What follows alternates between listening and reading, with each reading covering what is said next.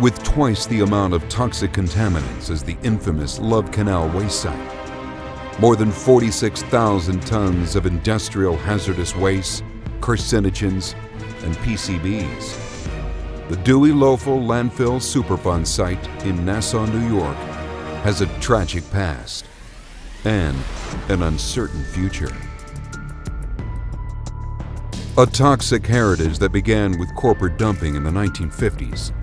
Hazardous substances migrated from the site to underlying aquifers, downstream water bodies, contaminating groundwater, some residential wells, lakes, sediments, and several species of fish.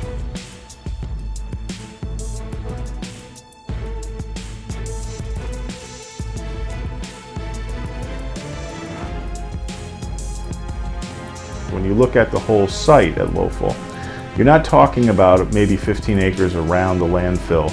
You're talking about um, different impacts through the water table, uh, through tributaries, through other uh, soil impacts that are over a thousand acres.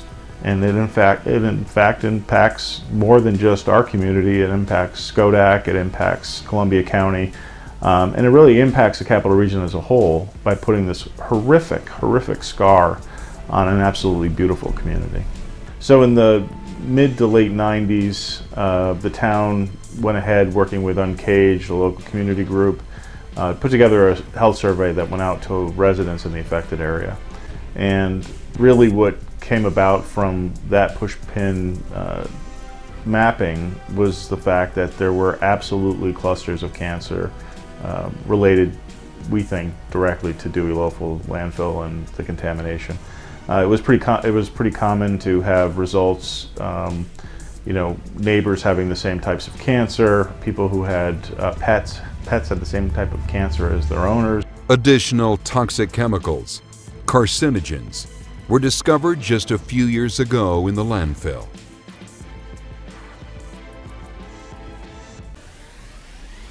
High levels of PCBs were found in Little Thunder Brook, near the discharge point of the landfill.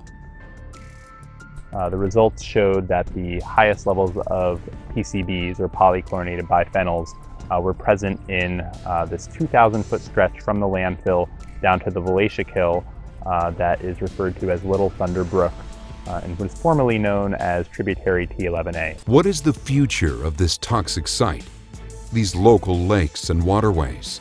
That's something when I was a kid that you'd see the summer campers all out there on kayaks. There'd be red and blue boats all over the, the lake every every year and they don't go in there anymore. Just make the lake healthy again. You know, make it healthy again. That's all. How have people been affected?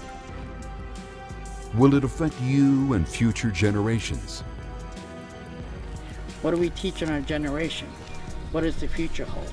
And that's what I have to look forward to. Love Canal Times 2, a landfill dilemma in Nassau, New York, is currently in production. Visit the official documentary website at BarbaraReina.com for film production updates and to add your contribution to the making of this documentary.